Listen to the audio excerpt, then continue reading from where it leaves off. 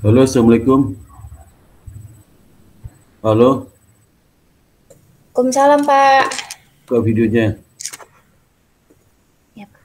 Nah, sekarang uh, apa? Mengenai apa? Eh, tinggal implikasi aja Pak yang kemarin kan belum tuh. Iya, kamu udah daftar udah? Udah. Oh ya, coba lihat aplikasi seperti apa. Nih Pak. Eh, pada tinggal si variabel kepemilikan institusional kan berpengaruh. Berarti perusahaan itu eh, harus memiliki kepemilikan institusional yang tinggi karena kepemilikan institusional yang tinggi menandakan bahwa GCG berjalan dengan baik.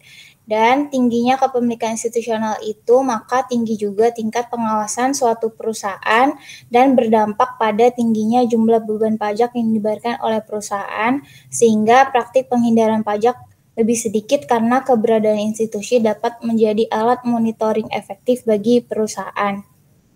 Kalau misalkan GCG, eh, keberadaan komisaris independen dan komite audit mungkin eh, pada setiap perusahaan tidak semua memenuhi kualifikasi sehingga adanya celah pada perusahaan untuk melakukan praktik penghindaran pajak.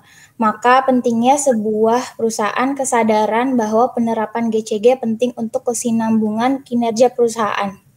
Itu Pak. Oh iya, itu aja. Oh, udah udah itu saya udah kamu itu aja nantinya kita apa uh, siapa tahu ada tambah di dosen lain ya. Iya Pak. Ya udah langsung aja. Udah lengkap ya. Siap Pak. Ya. Makasih banyak Pak Sparta. Ya, ya. Coba belajar yang baik, belajar yang baik ya. Aku kuasai teori ya. Iya Pak. Kuasai yang sebelumnya kuasai konsep-konsep variabel itu ya. Iya Pak. Karena variabel itu pengaruh itu hasilnya kenapa seperti itu, kenapanya itu Ya. kuasai ya. Iya Pak. Kalau ditanya sama dosen ya.